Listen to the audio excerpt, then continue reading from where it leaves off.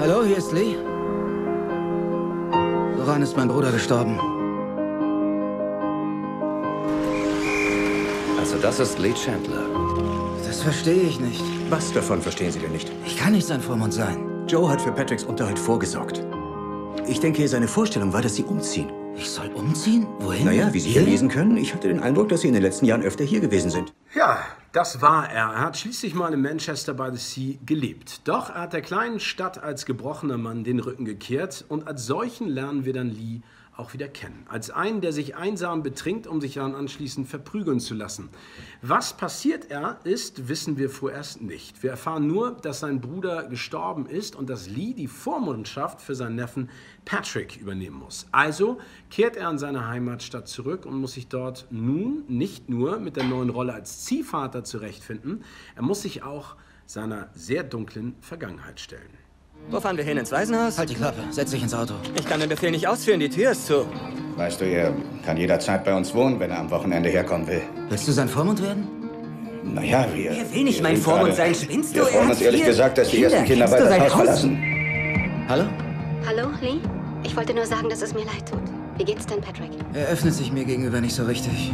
Das gleiche kann man auch als Zuschauer über Lee und den Film selbst sagen. Der Manchester by the Sea ist ein Drama, das sich ganz behutsam, fast schon minimalistisch entfaltet, aber dabei auch etwas sperrig ist. Hier mal ein Satz, dort mal ein Blick, Rückblenden, die nahtlos in die Realität übergehen. Das alles kann schon leicht irritierend wirken oder sehr viel Geduld erfordern. Aber glaubt mir, es lohnt sich in diesem Fall. Die Story, Lees verbrannte Seele, die Trauer, der Umgang damit, das Annähern zwischen Onkel und Neffe, nichts davon wird jemals überdramatisiert oder mit typischen Hollywood-Heilungsmethoden gelöst. Regisseur Ken Lonergan nimmt seine Figuren ernst und gibt ihnen Raum und die Zeit, um wie echte Menschen in diesem Fall zu wirken, die, die nachvollziehbar schweigen oder Dinge, die in ihnen die Seele zerreißt, nur gequält ansprechen. Hast du Sex mit diesem Mädchen? Wir müssen uns im Moment leider noch etwas einschränken. Was soll das heißen? Ich arbeite noch dran. Ich komme damit klar, wenn du nicht mein Vormund sein willst. Das ist es nicht, ich muss das nur organisieren. Alle meine Freunde sind hier. Ich habe zwei Freundinnen und spiele in einer Band. Du bist Hausmeister in Quincy. Was zum Teufel spielt es für eine Rolle, wo du lebst? Das Highlight bei Manchester by the Sea ist aber dabei definitiv Casey Affleck. Man will ihn erst gar nicht völlig mögen, weil er einfach so dornig ist. Trotzdem will man aber natürlich wissen, was diesen Mann so unfassbar aus der Bahn geworfen hat. Und am Ende möchte man nur eins, und zwar ihn in den Arm nehmen und ganz, ganz fest drücken.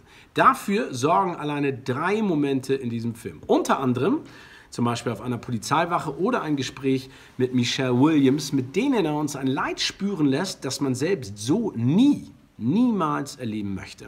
Der Golden Globe dafür war für Casey Affleck mehr als verdient und veredelt einen schönen wie auch sehr starken Film über Trauer und das Leben, das einfach weitergehen muss. Ohne Kitsch oder einfache Lösung, dafür voller Hoffnung und mit einer echt gut dosierten Menge an trockenem Witz. Eine Schuldstudie, die sich echt traurig und wirklich schmerzhaft anfühlt. Aber nie deprimierend. Und das ist definitiv jetzt schon für mich einer der besten Filme des Jahres.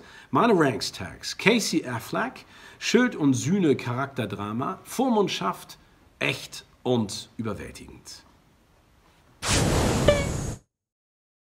Wir nach dir suchen. Du musst dich verstecken. Ihr habt keine Ahnung, wozu dieses Vieh imstande ist. Du bist sehr mutig. Weißt du das? Ich würde sogar sagen, du bist der mutigste Junge, den ich kenne. Elliot der Drache ist eine Neuverfilmung des 70er Jahre Disney-Halbklassikers, kann man so sagen, Elliot das Schmunzelmonster. Wie so oft bei Disney geht es auch hier um den Wert der Familie und vor allen Dingen auch, welche Opfer man dafür bringen muss.